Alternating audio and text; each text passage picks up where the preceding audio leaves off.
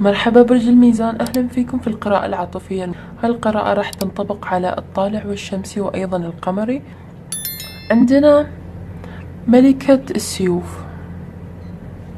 آه أنت برج الميزان أنت اللي طاقتك هوائية لكن أشوف أن في هاي الفترة شريكك وايد قاعد يكابر لأن ابتدت مشاعر تطلع عنده تحاول إنها تخرج إلى السطح. شنو هاي المشاعر؟ مشاعر تخص الغيرة. عنده غيرة وقاعد يراقبك من بعيد ياخذ أخ... ما بقول لك ياخذ أخبارك بس اوريدي عارف إن شنو قاعد يصير في حياتك. إنزين وإن كنت أنت ما تشوفه مشغول إما هني في الكواليس بأمور ثانية بشخص ثاني. يمكن أنت يا برج الميزان خلاص وصلت حياتك بدونه هو الحين صارت عنده مشاعر تخص الكبرياء. شلون برج الميزان ما رجع سأل عني؟ شلون وعدني إنه ما راح يتركني؟ آم وشلون يتجرأ إنه مثلا يكمل حياته بدوني مشاعر تخص الغيرة والتملك هي اللي قاعدة تطلع عند شريكك. عندنا الشمس. الشمس هو كرت يخص الحقيقة كرت جدا إيجابي. حبه هذا الشخص حبه لك ممكن إنك تتعامل مع شخص من برج الأسد. حبه لك قاعد يطمسه قاعد يضغطه بالمشاعر السلبية بمشاعر الغيرة التملك المقارنة الشك. ممكن حتى طاقة الشك عنده. هل هذا الشخص أصلا كان يحبني؟ برج الميزان هل كان صادق معاي؟ لأن الحين أشوفه مع شخص ثاني أو الحين أشوفه مواصل حياته بشكل طبيعي. الحقيقة تريد أن تظهر. شنو الحقيقة هني تقول لي؟ إنه هو للأسف الحين معاك آه sorry الحين بدونك هو أتعس من لما كان معاك. لما كان معاك كرت الشمس يقول لنا إنه هو كان سعيد. كان مرتاح كان يحس بشع... بسعادة عارمة. يعني مو ناقصة أي شيء في حياته على المستوى العاطفي. ولكن الحين بدونك يمكن جدا هذا الشخص أشوف أن اتخذ خيارات ثانية لما كان معاك في العلاقة. وبعدين أنت اللي قررت تسحب السيف على العلاقة.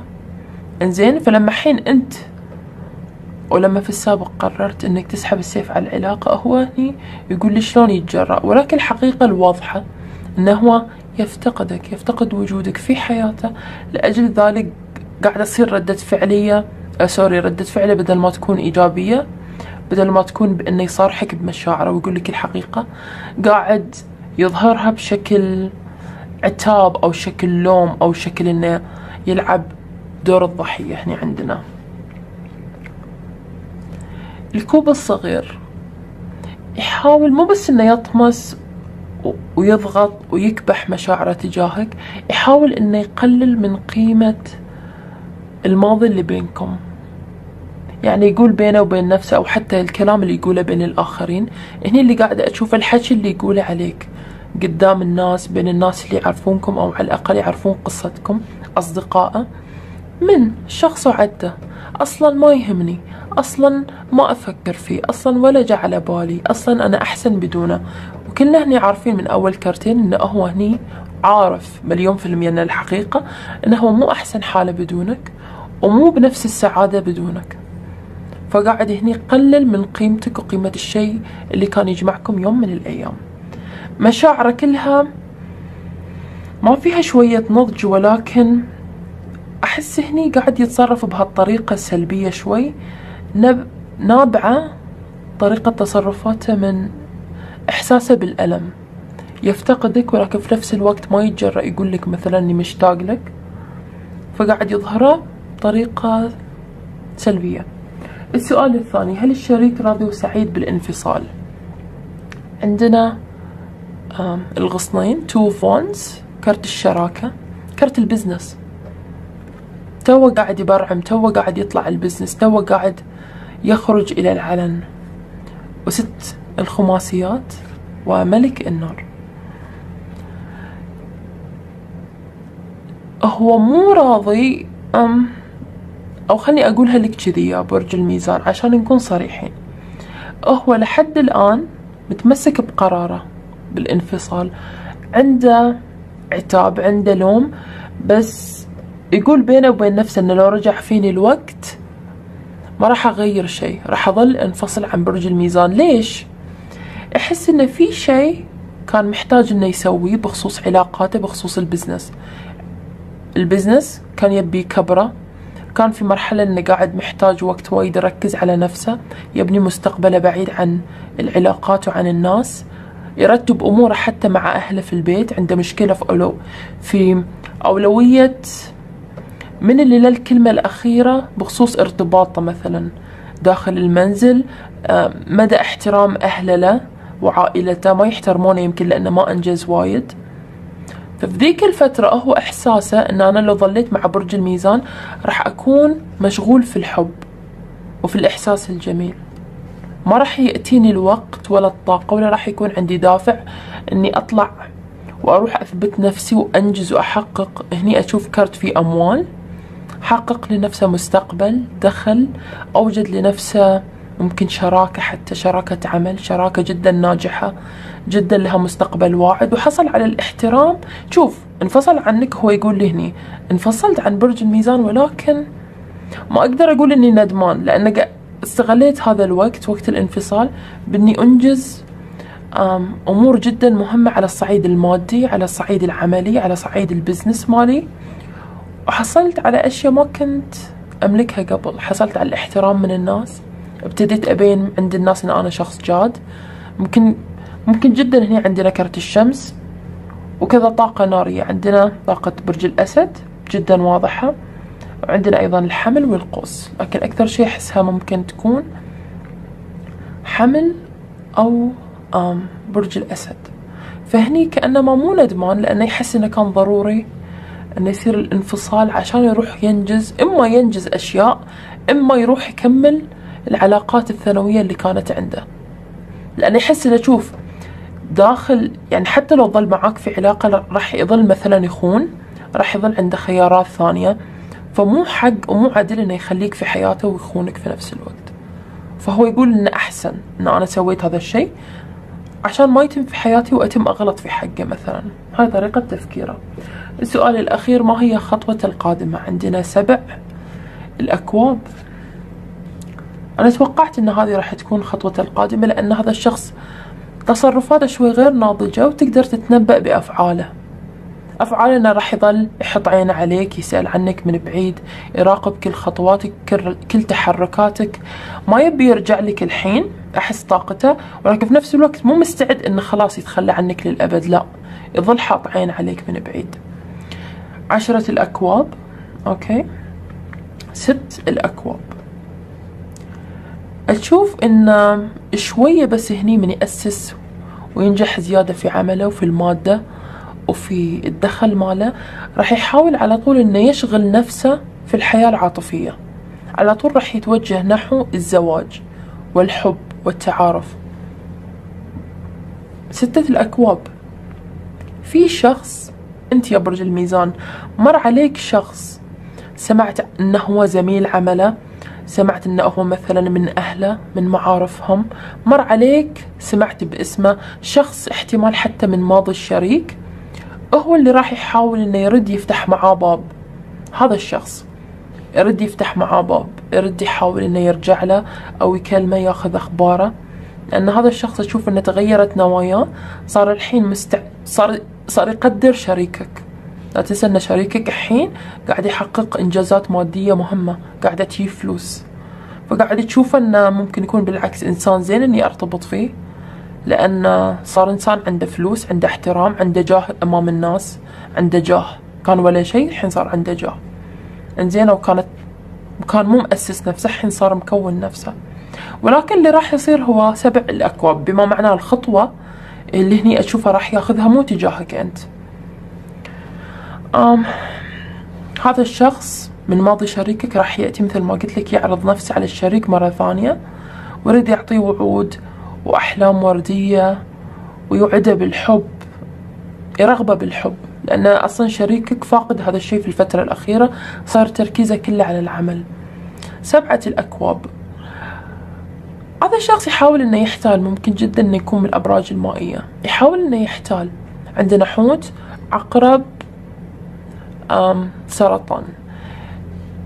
طاقته ل عن طريق الدلع والسوالف الحلوة السوالف الطيبة يخليك تنسى يخليك مثل اللي تدخل في غيبوبة ما تحس باللي حولك. ولكن للأسف أشوف كأنه ما في تدخل إلهي.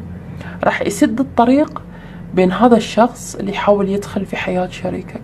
لأنه مو هو اللي المفروض يكمل طريقه معه. ما أحس إنه كذي. أحس رقم سبعة هو نهاية مسدودة للطريق بين هذا الشخص اللي من ماضي شريكك احتمال وشريكك. فحتى لو حاول بكل الحيل والألاعيب إنه يرغبه فيه يعرض نفسه عليه يفتح معاه باب من جديد ما أحس إنه في باب راح ينفتح. لأن شريكك أصلا لحد الآن ما قطع الأمل منك ومن علاقتكم. نشوف الحين العزاب. العزاب أول سؤال لكم. ما هي مواصفات الشخص القادم في طريقك؟ الكوب الصغير Page of Cups ممكن يكون من الأبراج المائية. حوت سرطان عقرب. هذا الشخص ما يخلي أحد في حالة. يعني لازم أقرأ الطاقة اللي أمامي. أوكي؟ هذا الشخص ما يخلي أحد في حاله. من النوع اللي أي أحد يطوف عليه إذا هو مثلا رجل أي امرأة يشوفها يقابلها يحاول معاها يحاول إنه يفتح باب معها وإذا كانت هي امرأة فهي امرأة مثلا من النوع اللي تبتسم للكل تحاول مع الكل توهم الكل. فاتح الأبواب للجميع ولكن ولا واحد من هالأبواب هو باب جاد. الكلام المعسول للجميع. okay؟ بوفيه أسميه أنا بوفيه شخص مثل البوفيه ادخل واختار الأصناف اللي تناسبك. ما أحس إنه جاد. زين الكوب الصغير طاقة المراهقين معناته إنه مو ناضج ومو جاد. مو جاد في الارتباط أو في الاستمرار حتى في علاقة جادة لفترة طويلة. عشر الأغصان. هاي التصرف يخص أكبر منك بعشر سنوات يمكن. okay؟ أو في شيء صار في حياتك قبل عشر سنوات. أم تجربة حب فاشلة حب كبير جدا كبير مستوى روميو وجولييت ولكن مر بتجربة حب فاشلة. فترة جدا طويلة ممكن حتى تكون من عشر سنوات ولحد الآن قاعد يحمل يحمل نتائج وألم ألم فشل في ذيك العلاقة معاه لحد الآن. الجروح شفت الجرح اللي تشوفه لحد الآن ما التأم هذا اللي يعاني منه هذا الشخص. ثمان الأكواب. وقلت لك هني يفتح الأبواب مع الكل ولكن ولا باب. يفتح الحديث يتكلم مع الكل هذا الشخص. يحاول مع الكل ولكن مو بنية جادة إنه فعلا يستقر يتزوج يلاقي الحب. لأن من يشوف إن الشيء ابتدى يصير جاد ابتدى الشيء يصير يتحول لعلاقة لحب لارتباط لشيء خلاص ثابت على طول يرحل. أو إذا ما يرحل يسبب شيء يستفز شيء في الطرف الثاني عشان يخليك مثلا أنت ترحل الطرف الثاني هو اللي يرحل. عرفت؟ دائما أحس عنده طاقة أنا أتقدم مثلا للزواج لناس كثيرين ولكن ما في أحد يقبل فيني. قاعد يتكلم إن أنا مالي ذنب. كل اللي قاعد يصير هو بسببه ترى هو ما قاعد يتحمل مسؤولية أفعاله. لأنه هو أساسا نيته مو حقيقية بالارتباط. ولكن قاعد يلوم الآخرين. أنا أحاول ولكن ما في أحد يبيني. هو من داخل ما يبي يرتبط بهذلين الناس. إنزين ليش راح يأتي في طريقك دام إنه هو ما يبي يرتبط؟ خلينا نشوف. السؤال الثاني خلينا نشوف وظيفته وشكله وشنو أيضا تحت رأسه. عندنا كرت الزاهد أو الناسك. عشر. أوكي. لما يلتقي فيك برج الميزان طريقة تصرفاتك خصوصا الهوائية. طريقة تصرف الهواء الهواء غير متعلق بأحد. حر. يسافر لكل مكان يطلع من كل مكان. ما في أحد يقدر يحبس الهواء. صح؟ هذه الطريقة الهوائية. طريقة تصرفاتك احتمال حتى عدم اهتمامك عدم تعلقك فيه لما تلتقون. هو اللي راح يخلي هذا الشخص من بين هاي الطبع اللي فيه إنه دائما يعرض الحب والغزل على الكل إنه يتوقف عندك أنت ويفكر. يقول ليش هذا الشخص بالذات من برج الميزان ما أقدر اشيله من بالي؟ ليش هو اللي لحد الآن أظل أفكر فيه عالق ببالي؟ وليش هذا الشخص أنا قدرت على الكل؟ كل الناس قدرت أقنعهم إنه يرتبطون فيني. ليش هذا الشخص مو راضي مو راضي أو مو مهتم حتى؟ رحلت أو بقيت مو فارق عنده برج الميزان. ليش؟ التساؤل بسبب تصرفاتك أنت. آه، أشوف بعد احتمال كبير أنه ممكن يشتغل في أم آه شيء يخص الأمن ممكن وزارة الداخلية وزارة الدفاع جهاز أمن جهاز قضائي. أشوف هذا النوع من ولكن أكثر وقت عمله يكون في الليل. أكثر وقت عمله. عشر الخماسيات. يملك الأموال يملك كل الأموال لأنه أكبر منك أصلا في السن مؤسس نفسه.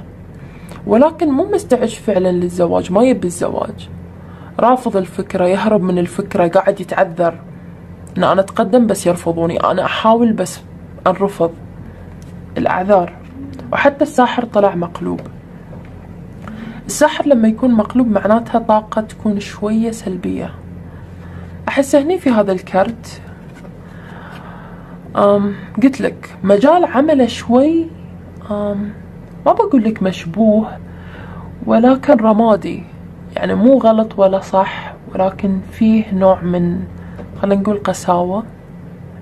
أنت إذا سمعت عن مجال عمله راح تحس إنه فيه قساوة.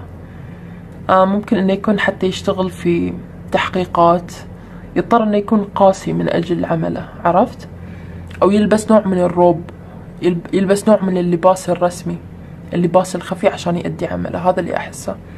هني قاعد يقول لي أنا ما أحتاج لأحد. أنا أملك صح كل الأموال كل الأشياء كل الصفات كل الاشتراطات تنطبق علي عشان أرتبط ولكن ما أبي حقيقة ما أبي ما أحتاج لأحد. لأن ليش؟ لأن مر بهاي التجربة الفاشلة. وصار يقول أنا أفضل إني أكون بروحي. بروحي أنا ما أحتاج لأحد ولا أحد يقدر يأذيني ولا يجرح قلبي. ولكن أشوف إن أنت فعلا عن طريق تصرفك بالطاقة الهوائية راح تستفز في التساؤل. احتمال كبير إن هاي التساؤل يتحول إلى طاقة. تخلي هذا الكرت ينعكس عنده يصير مستقيم يصير عنده رغبة في الزواج يصير عنده رغبة إنه يعرفك يقضي معاك وقت أكثر. خلينا نشوف كيف المفروض تتصرف مع هاي النوعية من, من الأشخاص. عندنا الخماسي الصغير.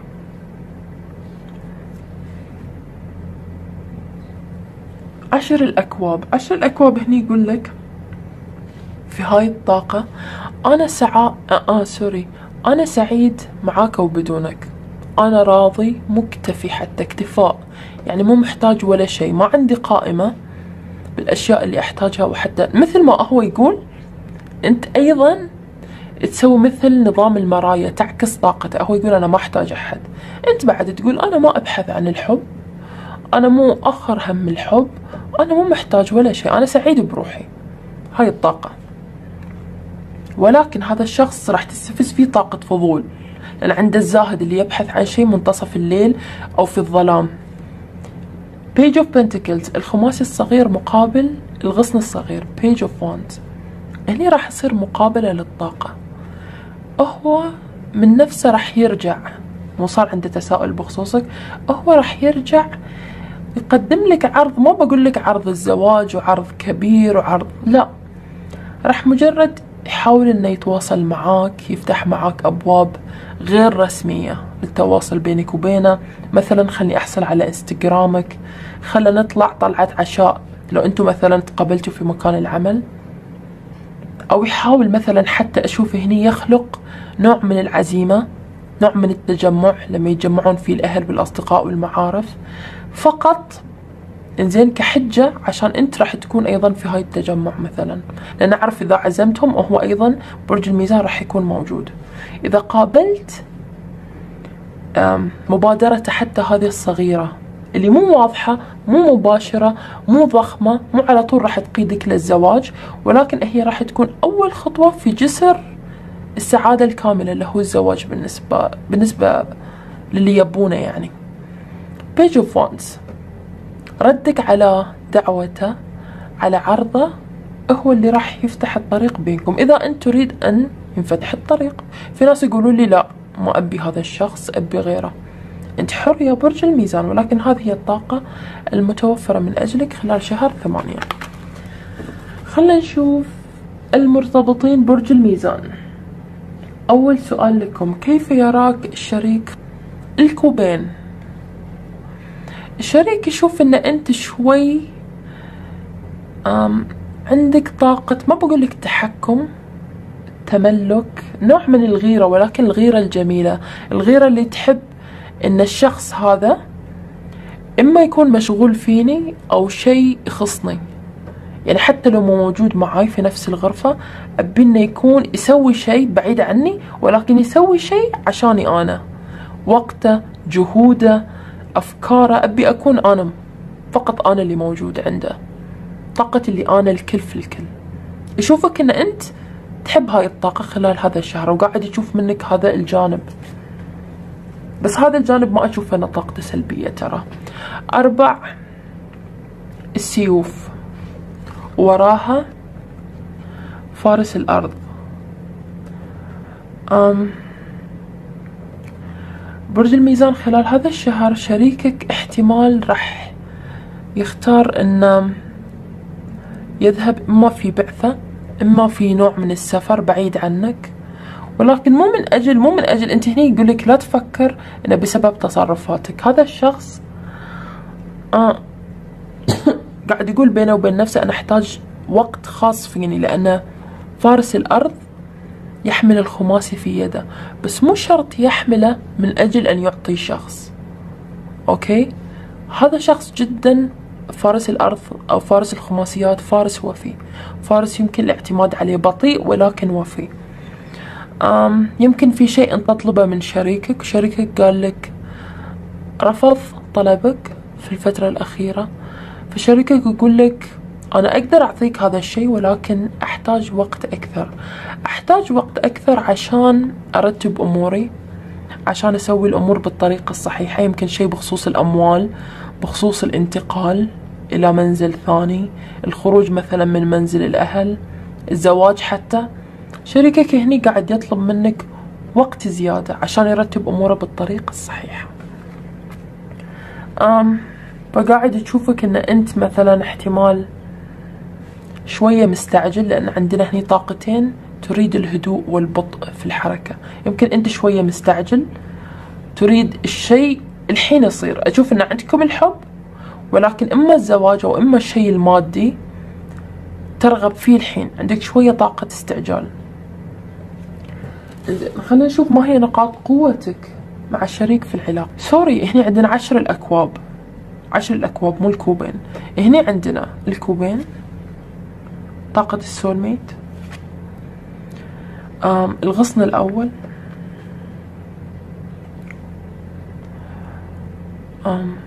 السيف الصغير. نقاط قوتك مع هذا الشخص. أنت إحنا نقول في مثل يقول إذن من طين وإذن من عجين. أنت تمثل هاي الطاقة بأجمل صورها يا برج الميزان. شريكك يشوف فيك أيضا هذا الجانب. جانب اللي مهما كان أداء هذا الشخص مهما كان بطيء يمكن أنت في مقارنة بينك وبين محيطك الناس اللي تعرفهم الأصدقاء إن أنا مثلا شريكي سوالي هل أنت شريكك سوا سوالك بعد؟ مثلا بنت خالتي زوجها سوالها كذا حبيبها سوالها كذا يحاولون في أشخاص هني يحاولون يأتون لك بالأخبار عشان يستفزونك عشان يغيرون بينك وبين شريكك يدخلون بينكم. ولكن من نقاط قوتك إن أنت ما تسمح لهم ما تثق بهم ما تثق بحتى الكلام اللي يأتيك. كاشفهم. خلينا نقول كاشفهم برج الميزان. في أي أخبار استفزازية أي أخبار تحاول أن تغير علاقتك مع الشريك أنت تصدى لها وبقوة هذه من نقاط قوتك. من نقاط قوتك إن علاقتكم قاعدة تمشي وتنغرس بقوة إنزين في الطريق الصحيح ولكن متجردة يعني بدون ما تقعد تفكر والله أهلي شنو يبون وأصدقائنا شنو يتوقعون ومعارفنا شنو راح يقولون. هني قاعد أشوف علاقة قوية ما بين شريكين. ما يهمها وايد رأي الآخرين معايير الآخرين. هذه من نقاط قوتك ترى مع الشريك. إنزين آخر سؤال المرتبطين كيف التوافق بينكم راح يكون خلال شهر ثمانية. آه سوري بما أن هني طلع عندنا عشر الأكواب اللي أنا غلطت وقلت لكم الكوبين في كيف يراك الشريك؟ نقطة أخيرة راح أقول لكم إياها. شريكك احتمال يشوفك أن أنت خلال هاي الشهر جدا مشغول. ما بقول لك بالآخرين ولكن مشغول أنك تضيف الناس. عندك مثلا زواج في العائلة زواج ما بين الأصدقاء. في أحد محتاجك أنت قاعد تساعده. في شيء يخص ضيافة أشخاص. شيء يخص ترتيب لحفلة زواج لحفلة عيد ميلاد ترتيب لإيفنت معين تنسيق لحدث معين. أشوف أن أنت شوي مشغول عنه. إنزين؟ في هاي التنسيق بهاي الأشخاص. ممكن جدا يكونون أصدقاء أو زملاء. ولكن في نفس الوقت هذه مو دعوة للتدخل بينكم. انزين خلينا نشوف التوافق بينكم. عندنا الساحر ملك الأرض سبع الأكواب. برتبهم كذي أحسن. التوافق بينكم راح يكون ممتاز ولكن مشروط. هني قاعدة أشوف احتمال كبير أن أنت راح تستعمل الطاقة الهوائية في التواصل مع شريكك. خلال هذا الشهر لأن عندنا هني رقم سبعة. شهر سبعة على وشك أنه ينتهي. كأنما هني الرقم هذا يقول لك أنت محتاج تغير أسلوبك مع الشريك. هني في كرت الساحر أنت لحد الآن قاعد تتكلم معاه بالطاقة الهوائية. الطاقة الهوائية جدا ما فيها أي مشكلة جدا قوية جدا ممتازة ولكن يعتمد على الموقف. أنت هني محتاج تقيم الموقف. أم النصيحة لك أن تبتعد عن طاقة ما أدري أحسها عنف أحسها طاقة هني الساحر أوامر طاقة راح أقول الحقيقة بس ساعات الحقيقة جارحة راح أقول الصراحة بس ترى ساعات الصراحة وقاحة. حاول أنك تبتعد عن الجانب الجاف من شخصيتك لأن أنت بحاجة عشان تتواصل فعلا مع شريكك. بالطريقة الصحيحة تشوف شريكك عنده كرتين احتمال أن شريكك أيضا sorry شريكك برج ترابي جدي ثور عذراء. عنده كرتين في هاي الجانب ترابية. بما معناه أحس أن شريكك جدا محتاج منك هذا الشهر؟ أول شيء عشان التوافق يكون مية بالمية طاقة الهدوء الرضا اللون الأخضر الرضا القناعة عدم المقارنة. ما نقارن وضعنا بوضع الصديق. وضعنا بوضع آه، أحد من الأهل وضعنا بوضع أحد من الإخوان. طاقة الاستماع طاقة أن لا تحاول تتحكم بزمام الأمور وبالشريك. okay؟ طاقة المرونة طاقة الحنية هذه هي طاقة الأرض. إذا أخذت طاقة الأرض أكثر توافقك مع الشريك إن شاء الله راح يكون جدا ممتاز. خلال هاي الشهر راح يكون في mirroring يعني أنت على هاي الجانب وشريكك على الجانب الثاني وفاهمين بعض جدا سعيدين بما أن عندكم الكثير من الكروت اللي فيها طاقة الماء. عزيزي برج الميزان هذه كانت